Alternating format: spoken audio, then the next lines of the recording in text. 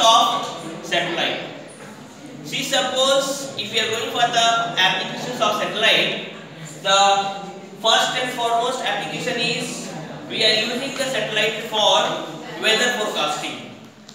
In India, we are having the meteorological department that is taking care of weather forecasting. So for that, we are having specific satellites that take care of this weather forecasting.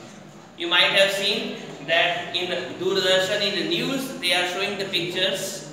So those pictures are taken by those meteorological satellites.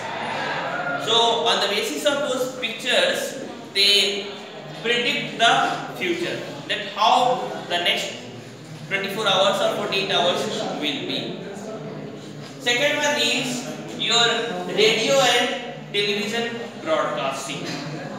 If we are going for your radio and television broadcasting, now nowadays the broadcasting is switching from analog communication to digital communication.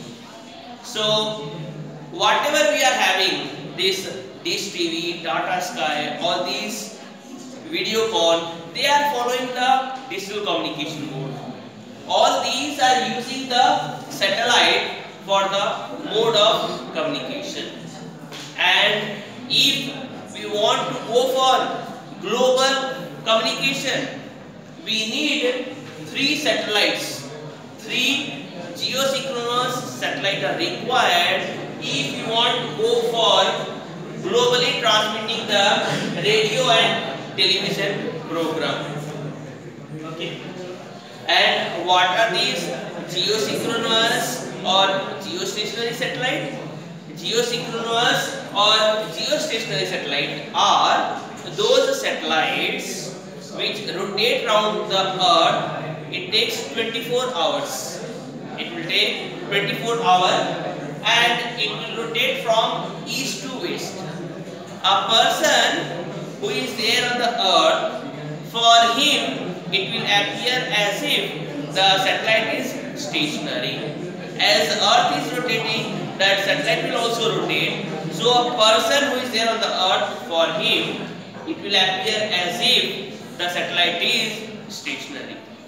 So those satellites are called geosynchronous satellite. Next application is we can go for military satellite. There is nothing like military satellite. It is the application part that for what purpose we are using the satellite. If we are using the satellite for collecting the intelligence information about the neighboring countries or the enemy countries that it will be helpful for the military. So we will say those satellite as military satellite. We can even go for your navigational satellite. We can use the satellite for navigation purpose. Generally, we can go for ship. We can even go for lorries.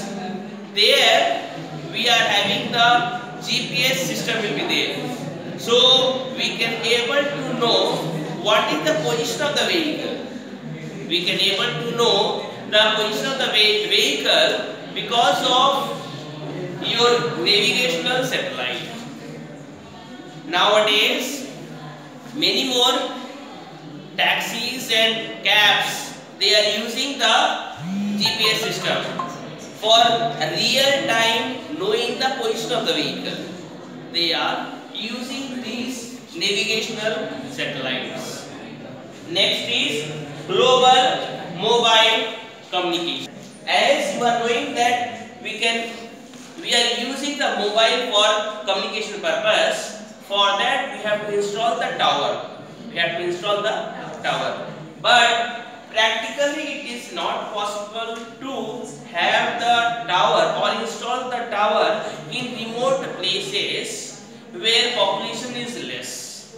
If the population is less, it will not be practically viable for the mobile companies. But if we are going for those communication, we can take the help of uh, geosynchronous satellite.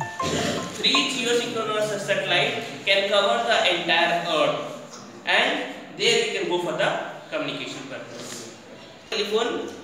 If we are going for global telephone, it is better as compared to have wired communication.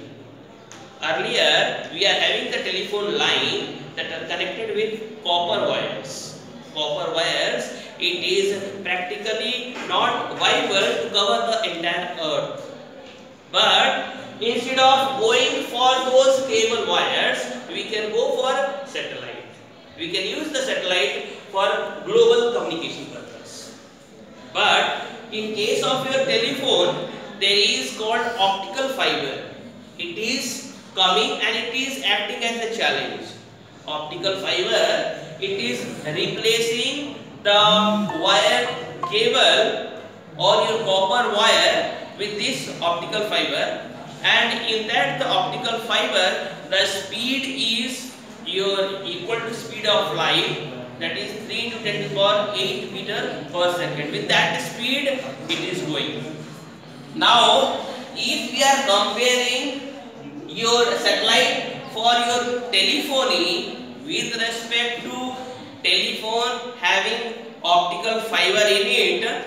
Here what is happening that if you want to have a distance of 10,000 kilometer the signal has to travel at least 72,000 kilometer.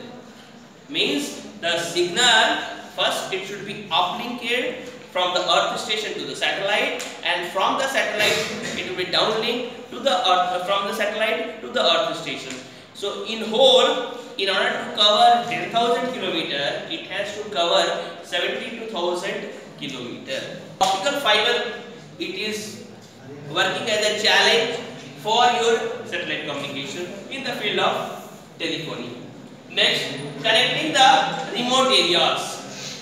There may be some areas where population is less there also if you want to communicate we can use the satellite. So satellite are used in these are some of the places where we can use your